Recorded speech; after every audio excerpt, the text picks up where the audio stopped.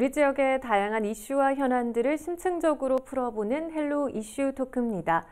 4차 산업혁명 시대에 과거에 없던 다양한 직업이 생기고 인공지능을 기반으로 하는 기술이 우리의 일상에서 많은 영향을 미치고 있는데요. 이런 시대적 흐름에 선제적으로 대응하기 위한 직업교육의 중요성이 주목을 받고 있습니다. 교육부는 직업교육 혁신지구를 지정해 기술 인력 육성을 체계적으로 지원하고 있는데요. 충남교육청이 지난해 직업교육 혁신지구 운영 우수기관으로 선정되기도 했습니다. 충남 지역의 직업교육 혁신지구 운영 성과와 한 단계 더 발전하는 직업교육을 위한 노력, 충남교육청 미래인재과 나학규 장학관과 자세히 짚어보도록 하겠습니다. 장학관님 안녕하세요. 네, 안녕하세요. 네, 반갑습니다. 네, 반갑습니다. 네. 자, 먼저 지난해 충남교육청이 지금 직업교육 혁신지구 운영 우수 기관으로 선정이 됐다고 소개를 했는데요. 어떤 의미를 갖는지부터 소개를 좀 해주실 수 있을까요? 네, 먼저 직업교육 혁신지구에 대한 설명을 먼저 드리는 게 맞을 것 같습니다. 직업교육 혁신지구는 2021년 교육부 공모사업으로 시작이 되었는데요. 2021년 5개 지구를 시작으로 23년 12개 지구가 지정돼 운영되고 있습니다. 지역 전략 특화 산업에 필요한 인재를 양성하기 위해서 지역의 직업 계고, 그 다음에 기업, 대학이 협력해서 산업 맞춤형 교육과정 운영하고 학습, 현장 실습, 취업, 후학습, 지역 정착까지 한 단계로 학생의 성장 경로에 맞게 지원하기 위해 교육청과 지자체가 협력을 목표로 하고 있는 사업입니다. 네. 우리 교육청은 2021년 천안지구를 시작으로 2023년 당진지구가 지정되었는데요. 천안지구는 반도체 디스플레이, 스마트 기계, 자도, 미래 자동차 산업 분야 기술 인재를 양성하고 있으며 당진지구는 전략산업인 철강, 에너지 분야 기술 인재 양성을 위해 각각 천안시, 당진시와 우리 교육청이 힘을 합치기로 한 겁니다. 네. 그 의미로를 보면 그동안 지자체와 교육청이 각각 산업 인력 육성을 위해 노력을 해왔지만 산업, 산업 맞춤형 기술 인재 양성에는 한계점을 음. 보였는데요. 네. 충남 일자리 경제진흥원에서 실시한 취업 선호도 조사에 의하면 직업계고 학생 중 79%가 지역 내 기업에 취업을 희망하고 있지만 지역 내 양질의 일자리를 제공하는 한계가 있고 지역 산업체는 전문 기술 인력을 필요로 하는데 채용에 한계를 보이고 있습니다. 네. 그래서 이러한 문제를 해결하기 위해 새로운 직업교육 지원 체제가 필요했는데요. 그 방법으로 직업교육 혁신지구가 어, 대두된 겁니다. 네. 혁신지구를 통해 지역 내 좋은 일자리를 일자리를 취업하고 싶은 지역 학생들에게 제공하고 기수, 기업 맞춤형 실무 능력을 갖춘 기술 인재를 채용함으로써 학생과 기업이 만족하는 인력 양성 채용 생태계를 조성으로써 건전한 지역 발전을 도모하고 우수 직업 계고 육성과 지역 소멸을 막는 방안이 될 것으로 기대하고 있습니다. 네. 이러한 관점에서 혁신지구를 체계적으로 운영한 결과 작년, 올해 2년간 천안지구와 당장 당진지구가 각각 우수기관으로 선정되는 좋은 성과를 얻었습니다. 네. 그러면 혹시 어떤 부분에서 지금 충남교육청이 높은 평가를 받았는지 좀 알 수 있을까요? 네. 많은 그 전국의 많은 교육청과 지자체가 직업교육 혁신직을 통해 새로운 직업교육 모델을 만들기 위해 노력하고 있습니다. 네.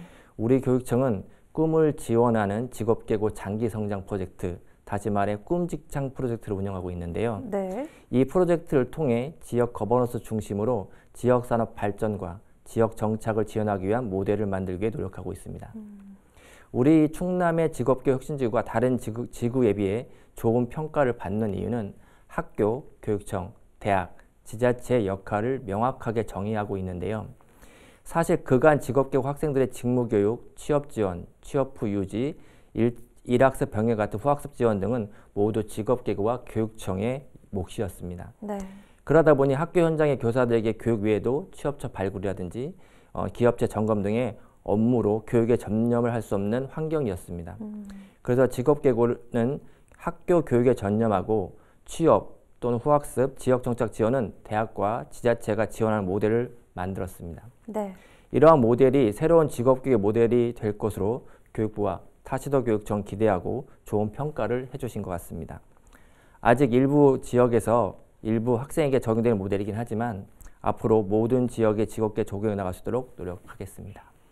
네, 그러면 구체적으로 이 직업교육 혁신지구 지정 후에 교육 현장에서는 어떤 사업들이 운영이 되는 건가요? 네, 2021년부터 많은 사업들이 진행되어 왔습니다. 그중 대표적인 사업은 대학교가 운영하는 산업체 맞춤형 직무 기초 심화 교육입니다.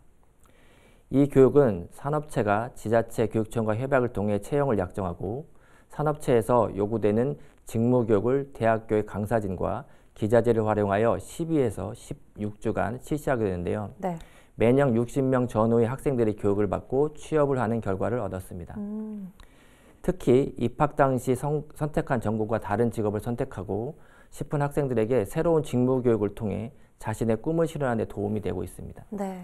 또 다른 사업으로는 주거 안정 및 금융 피해 예방을 위한 임대차 계약을 비롯한 금융 교육을 실시하고 있고요. 네. 학생들에게 진로 탐색의 기회를 제공하기 위한 취업 동아리 운영 지원, 중학생 대상 직업 계고 인식 개선을 위한 직업 교육 한마당 운영, 지역 정착 지원을 위한 취업 정착 지원금 지원 등 다양한 사업을 운영하고 있습니다.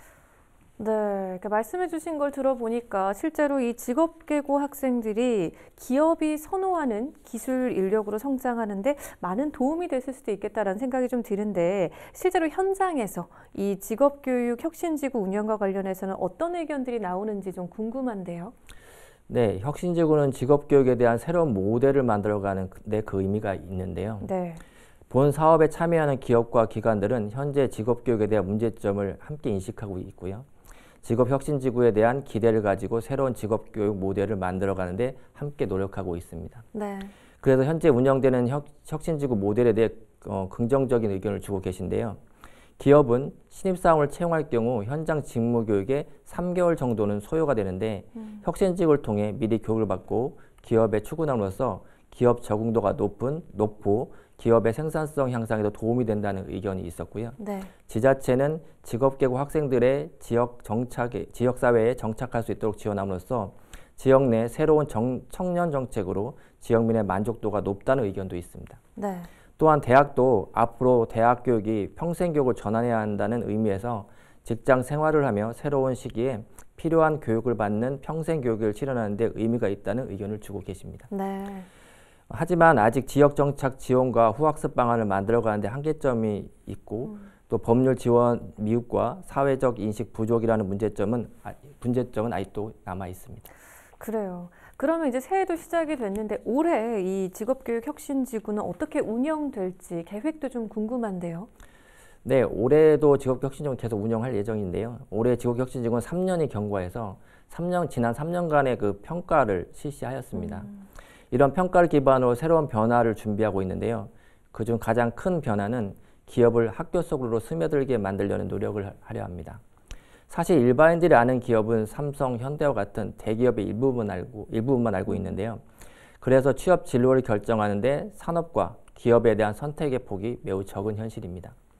그래서 올해는 지역 지- 기업, 지역 기업분들과 기업분들을 강사로 모시고 기업들에 대한 내용을 중학교와 직업계고의 어, 대- 학생 대상으로 안내할 예정입니다. 네, 대학을 진학할 때 서울대 또는 뭐 지역의 공주대와 같은 목표를 설정하고 공부를 하는 것처럼 학생들이 취업하고자 하는 기업을 목표로 어, 설정하고 학습을 할 수 있도록 지원하려는 겁니다. 네, 또한 지자체와 지역 대학 등과의 협력을 더 강화하여 지역 산업 맞춤형 교육 과정을 고도하고 다양화하여 학생들의 다양한 진로 선택의 기회를 제공하려 합니다.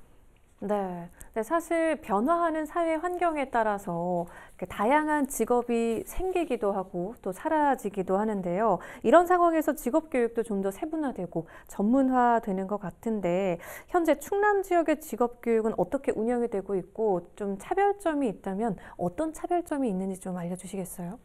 네, 우리 지, 우리 교육청은 그 어떤 지역보다 지역 산업과 신산업 분야에 맞는 기술 인재 양성을 위해 학과 개편 및 기업 맞춤형 교육 과정 운영에 노력해 왔습니다. 네, 그 결과 아산 스마트 팩토리 마이스터 고등학교, 충남 드론 항공고, K-팝 고등학교 등 새로운 분야의 학교를 만들어 왔고요. 네, AI 빅데이터과 반려동물 등과 등 새로운 학과들도 만들어 중학교 학생들에게 큰 호응을 얻고 있습니다. 네, 또한 얼마 전에 베셀 에어로 스페이스 등 다섯 개 드론 산업체와 업무 협약을 포함하여 아마존 웹 서비스 등과 그- 그- 어, 아마존 웹 서비스 등 기업과 협력을 통해 기업 맞춤형 교육과정 운영을 노력하고 있습니다. 네, 더불어 교사들의 역량을 높이기 위해 기업과 함께 교사들의 연수를 운영하고 있습니다. 한 가지 더 말씀드리면 네, 작년에 반도체 마이스터고를 지정받아 2025년에 충남, 충남 반도체 마이스터고가 개교될 예정인데요. 충남의 주력 산업인 반도체 산업에 필요한 기술 인재 양성에 도움이 될 것으로 기대하고 있습니다. 네. 앞으로도 우리 교육청은 지역 산업과 신산업 분야의 기술 인재 양성을 위한 학과, 학교 교육과정 개편을 지속적으로 추진하여 우리 학생들에게 전국 최고의 직업 교육을 제공할 예정입니다. 네, 그러니까 지역 산업과 신산업 분야에 맞는 인재 양성을 위해서 다양한 교육 과정들이 운영이 되고 있는 것 같은데 이 특히 이 직업 교육과 관련해서 좀 중점을 두는 부분이 있을까요? 네, 직업 교육은 지역 사회 함께 성장해야 한다고 생각을 합니다. 그것이 지역 지, 지역 직업 교육의 책무라고 생각하고 있고요. 네. 이런 직업 교육을 직업 교육은 저출생 시대에 지역 소멸을 막는 데 대안이 되기도 할 겁니다. 그래서 우리 교육청은 직업 교육을 통해 많은 학생들이 지역에 정착할 수 있도록 지역 사회 함께하는 직업 교육에 중점을 두고 있습니다. 네. 지, 직업 교육 혁신지구 및 협약형 특성화 등 지역 사회와 함께 성장하는 직업 교육을 지속적으로 육성해 나갈 계- 계획입니다. 네. 또한 현재 직업교육 학생들이 졸업 후 진로 상황을 살펴보면 44% 학생이 진학을 하고 있고 음. 30%가 취업을 26%가 진로를 결정하지 못하고 있는데요. 네. 우리 교육청은 진로를 결정하지 못하는 학생들에게 자신의 진로를 설계하고 선택할 수 있도록 학생 취업 진로 교육을 어, 함께 추진해 교육 공동체가 만족하는 직업교육 시스템을 만들어 가려고 노력하겠습니다. 네, 그러니까 지역 사회와 함께 성장하는 뭐 체계적인 교육 시스템을 통해서 지금 직업계고 학생들은 산업 현장에서 일할 수 있는 역량을 키우게 되는 것 같은데요. 근데 이 직업계고 졸업 후에 대부분 산업계로 진입을 하게 되는 건가요? 이후 이 졸업생들의 진로가 좀 궁금한데요. 네. 직업계고 교육 목표는 산업 현장에서 요구하는 기술, 전문 기술을 갖춘 직업인 양성에 있습니다. 그래서 졸업 후 산업계로 바로 진입하는 이후 필요한 교육을 받을 수 있는 후학습 체계를 구축해 나가고 있습니다. 네. 또한 학생들의 진로 선택권 확대를 위해 다양한 취업 진로 교육 프로그램을 제공하고 있, 는데요 예로 해외 취업과 정착을 지원하기 위한 해외 현장 학습과 양질의 취업을 위한 공기업, 공공기관 반 또는 뭐 공무원 반 등 학생 진로 맞춤형 동아리도 운영하고 있습니다. 네. 그 결과 어, 해외 현장 학습의 경우는 60명의 학생이 호주와 독일에 나가서 36명이 취업하거나 취업 예정에 있고요. 또한 올해 국가직 지방직 공무원 시험에서 39명의 학생이 합격하는 성과를 얻기도 했습니다. 네, 지금 말씀하신 것처럼 충남 지역 직업계고 학생 39명이 9급 공무원에 최종 합격했다는 소식도 좀 전해졌는데 이것도 좀 유의미한 성과라고 볼 수 있을 것 같은데 어떤가요? 네, 직업계고 학생들에게 양질의 일자리 제공 측면에서 학생들에게 공직사회에 진입을 기, 진입의 기회를 주는 것은 의미가 있다고 생각합니다. 그래서 많은 학생들이 공무원에 도전하고 있고요. 이러한 도전이 그간 학력이 기준이 된 사회에서 능력이 기준이 된 사회로 변화하는 시작점이 되었으면 합니다. 네. 아직 우리 사회가 대학을 선호하는 가장 큰 이유는 학력이 기업의 채용 기준이 되는 사회이기 때문인데요. 이러한 학력 중심 사회를 사회가 갖는 문제점은 많이 알고 있을 거라고 생각됩니다. 네. 그 직업계고 학생들이 다양한 분야에서 취업하고 성과를 내는 것은 학력이 아닌 능력이 기준이 되는 사회에 한 발 더 나아갈 수 있는 기회가 될 거라고 생각합니다. 네. 그러면 우리 충남 지역의 직업 교육이 한 단계 더 좀 발전하기 위해서 또 끊임없는 고민이 좀 필요할 것 같은데 어떤 노력을 좀 이어가고 계신가요? 네, 우리 교육청은 직업 교육 발전 후에 2019년 직업 교육 재구조화 3개년 계획을 수립하여 과감한 투자와 변화를 통해 발전을 거듭해 왔습니다. 예전보다는 한 단계 발전했다고 생각하지만 다른 한편으로는 학령 인구 감소에 따른 직업기고 위기를 극복하기 위한 방안을 마련하기 마련이 필요하다고 생각을 하고 있습니다. 네. 사실 아직은 중학교 학생들이 진로를 결정할 경우 일반고를 먼저 선택하는 것이 현실인데요. 이는 아직 직업계고 직업계고의 직업계고 우수성이 우수성에 대해 정확히 알지 못하고 직업계에 대한 신뢰가 아직 부족하기 때문이라고 생각됩니다. 네. 이에 직업계고 교육과정 및 한- 환경 개선, 홍보를 통해 직업계 교육 역량을 높이고 지역사회 를 대상으로 홍보를 강화해 나간다면 좋은 성과가 있을 거라고 생각됩니다. 네. 다소 시간이 필요하고 힘든 일이 되겠지만 지역 소멸 방지와 지역 바- 지역 산업 발전이라는 큰 맥락에서 직업 교육을 만들어 나가고자 노력하도록 하겠습니다. 네, 그러면 사실 이 직업 교육의 우수 사례를 꾸준히 발굴하고 또 확산시키는 것도 중요할 것 같은데 어떨까요? 네, 맞습니다. 직업 교육에 대한 인식 개선을 위해서는 우수 사례를 만들고 이를 일반화하는 노력이 필요한데요. 네. 오랫동안 많은 교육 프로그램 실천으로 해외 취업, 우수 일자리 취업, 공무원 취업, 재직자 전형 등 후학습에 대한 대학, 대한, 대학 교육 등 많은 우수 사례를 만들어 나가고 있습니다. 네. 하지만 아직 지역민의 대다수가 이러한 내용에 대해 잘 모르고 있는데요. 그래서 아직은 어, 이러한 사례가 확대되거나 한계 확대되는데 한계가 있다고 생각됩니다. 바람이 있다면 우리 같은 직업교육하는 사람들 외에도 많은 사람들이 직업교육의 필요성과 우수성에 대해 같이 홍보해 주셨으면 합니다. 네. 우리 교육청도 지역 사회와 지역 언론, 지자체와 함께 우수 사례를 공유하고 홍보해 나가도록 하겠습니다. 네, 이제 또 새학기 시작이 한 달 정도 남았는데요. 올해 직업교육과 관련해서 새롭게 계획하는 사업도 있을까요? 네, 올해도 지금까지 해왔던 것처럼 지역사회, 지역 기업과 함께하는 직업교육 실현을 위해 노력해 나갈 계획인데요. 네. 어, 특히 올해는 협약형 특성화고를 추진할 계획입니다. 협약형 특성화고는 지역 기- 국가에 필요한 특수 산업 분야 또는 지역 기반 산업 인재를 육성하기 위해 지자체, 교육청, 지역 기업, 특성화 등이 협약을 맺어 지역에 필요한 맞춤 교육을 실현하는 특성화고를 말하는데요. 네. 올해 산업에 맞는 어, 어, 올해는 산업에 맞는 맞춤형 교육, 직업교육 육성을 위해 협약형 특성을 추진해 나갈 계획입니다. 네. 더불어 충남 직업계고의 10년 계획을 수립하는 직업교육 모델 개발 연구 결과를 기반으로 어, 직업교육 개편 방안을 마련하고 해외 현장 학습을 확대해 나갈 예정입니다. 네. 더불어 산업체 맞춤형 교육과정 운영 코드와 학생 진로 선택 기회를 확대를 위한 취업 진로 교육 등을 추진해 나갈 계획입니다. 네. 또 이 직업계고 학과 교육 과정이나 직업교육 관련 정보들을 좀 더 가까이에서 접할 수 있는 기회가 마련되는 것도 우리 학생들의 진로 선택에 좀 도움을 줄 수 있을 것 같은데 이를 위한 계획도 있을까요? 네. 학생들의 진로 선택에 대한 정보를 제공하고 기회를 주는 것은 학습 동기를 부여하고 행복한 학교 생활을 하는데 매우 중요한 사항입니다. 네. 우리 교육청은 그 학생들의 진로 선택 기회를 제공하기 위해 2020년부터 직업계고 체험 119를 추진하고 있는데요. 네. 직업교육 체험 119 프로그램은 학생들에게 명확한 목표를 스스로 찾을 수 있도록 맞춤형 진로 선택 프로그램 운영과 일반 교과의 수업 혁신, 선택 중심 교육 과정 운영을 주요 골자로 고등학교 1학년 1년 동안 9개의 프로그램이 운영되며 직업교육 학생들의 행복도를 높이는 전국 최초의 취업 진로 프로그램입니다. 네. 특히 올해는 체험 119 프로그램 지원을 위해 앱을 개발하여 보급할 예정이고요.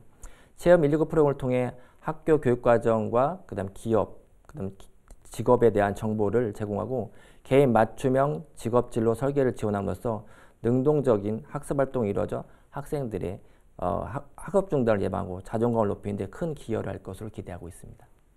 네. 장 학관님 마지막으로 방송을 통해 더 전하고 싶은 말씀 있으실까요? 네. 우리 직업계고를 학업 능력이 부족한 학생들을 위한 대안교육을 생각하는 분들이 간혹 있는 것 같습니다. 참 안타까운 현실인데요. 고등학생의 20%가 현재 직업교육에서 직업교육을 받고 있으며 이 학생들은 자신의 진로를 찾아 직업을 선택하고 직업에 필요한 교육을 받고 있는 성실한 학생들입니다. 이는 지역사회와 국가 산업발전에 그 기여하고 있다고 생각하고 있습니다. 개인적으로는 또 행복한 직업을 살아갈 수 있는 실적 삶에 대한 교육을 받고 있는 거라고 생각을 하는데요. 그래서 사회가 이런 학생들에게 응원과 격려를 해주셨으면 합니다. 또 지역민들이 우리 직업교육 학생들의 성장 관심을 가지고 또 더불어 적극 지원해 주셨으면 좋겠고요. 네. 또 지자체를 비롯한 지역사회도 이 학생들이 지역사회 중요한 역할을 하고 있는 지역사회를 지탱한 힘이라고 생각해서 보다 많은 지원책을 지원 정책을 만들어 주시고 우리 교육청도 이를 함께 하도록 하겠습니다. 네. 자, 오늘 직업교육 혁신지구 운영 우수기관으로 선정된 충남교육청의 성과와 앞으로의 계획 짚어봤습니다. 오늘 말씀 잘 들었습니다. 고맙습니다. 네, 감사합니다.